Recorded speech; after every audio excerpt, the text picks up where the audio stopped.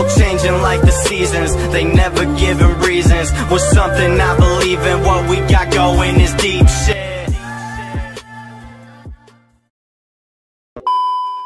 Oke guys, balik lagi di channel gua. Oke guys, jadi di video kali ini gua mau berbagi lagi script modul buat aplikasi Qt lagi ya guys ya. Nah, jadi untuk script modul kali ini guys, untuk mengaktifkan mode idle buat device atau HP kita guys. Dan pastinya ini itu tanpa root ya guys ya.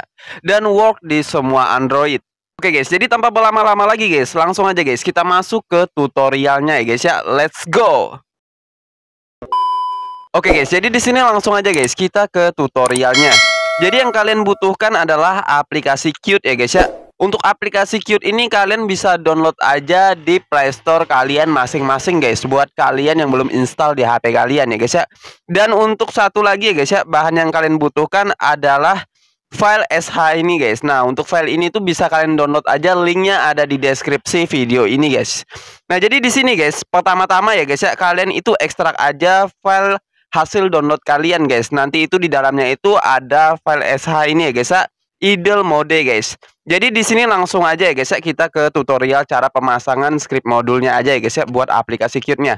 Jadi caranya sama aja ya guys ya dengan script script yang sebelumnya ya guys ya. Kalau kalian itu udah nonton video-video gue yang sebelumnya guys.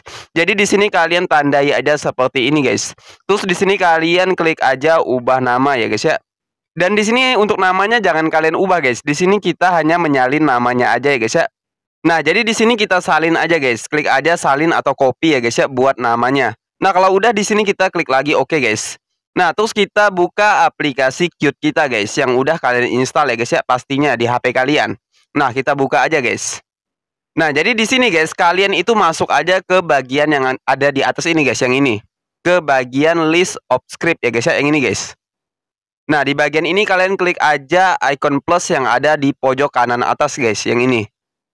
Nah, di sini kalian aktifkan atau geser aja di bagian yang ini guys, di run at startup device ya guys ya, yang ini harus kalian aktifkan. Yang bawahnya create shortcut itu nggak perlu ya guys ya, karena cuma untuk menambahkan shortcut atau seperti widget aja guys di tampilan layar utama atau home screen HP kita. Jadi yang ini itu nggak penting ya guys ya, yang ini guys. Jadi yang ini jangan kita aktifkan aja ya guys ya. Nah, selanjutnya di sini kalian masuk aja ke bagian new script guys. Kalian klik aja di sini ya guys ya. Dan di sini kalian pastekan untuk nama yang udah kalian salin tadi guys, nama file sh-nya ya guys ya. idlemode.sh. Nah, seperti ini guys, jangan sampai salah ya guys ya. Nah, kalau udah di bawahnya ya guys ya, di sini itu harus kita isi juga guys. Nah, cara mengisinya kita balik lagi ke aplikasi Z-Archiver kita guys.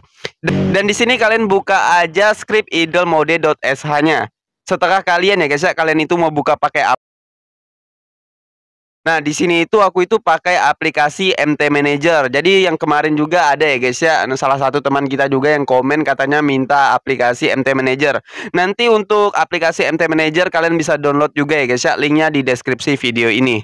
Oke, jadi di sini langsung aja kalian buka aja pakai aplikasi setelah kalian ya guys ya. Yang penting teksnya bisa kalian salin. Nah, seperti ini ya guys ya untuk teksnya.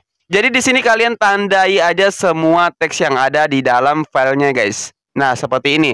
Kita tandai aja semuanya guys ya. Pilih aja semua seperti ini guys. Terus kita klik aja salin.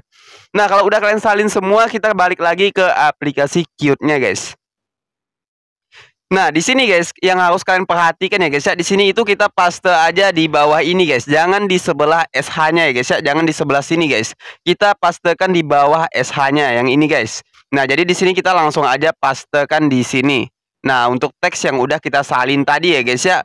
Untuk teks modulnya guys. Nah, jadi di sini udah kita paste ya guys ya. Kalau udah kita paste, kalian klik aja icon save yang ada di atas ini guys, yang ini. Nah, kita klik aja di sini guys. Nah, jadi di sini untuk script idle modenya udah ditambahkan ya guys ya ke aplikasi Qt-nya. Nah, selanjutnya di sini kita tinggal flash aja guys buat uh, scriptnya. Di sini kalian klik aja satu kali seperti ini ya guys ya scriptnya. Dan di sini kita tinggal klik aja centang biru yang ada di pojok kanan bawah ini guys. Nah jadi di sini itu lagi proses flashnya ya guys ya. Jadi jangan kalian close guys dari aplikasi Qt-nya. Kalian tunggu aja ya guys ya prosesnya sampai selesai. Oke guys, jadi di sini untuk prosesnya sudah selesai ya guys ya. Nah kalau udah selesai seperti ini kalian itu tinggal nyalakan ulang HP kalian guys buat mengaktifkan mode idle buat HP kalian. Jadi seperti itu ya guys ya. Oke guys, mungkin segitu aja buat video kali ini. Jadi buat kalian yang mau coba ya guys ya, buat aplikasi Qt-nya kalian bisa download aja di Play Store kalian masing-masing. Dan buat script modul idlemode.sh-nya ya guys ya, kalian bisa download aja linknya ada di deskripsi video ini guys.